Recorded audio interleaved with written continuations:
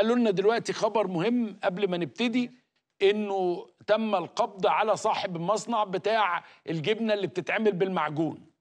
تم ضبط صاحب مصنع الجبنة اللي بتتعمل بالمعجون اللي هي طبعا حاجة خطر جدا. فجالنا الخبر دلوقتي وعرفناه.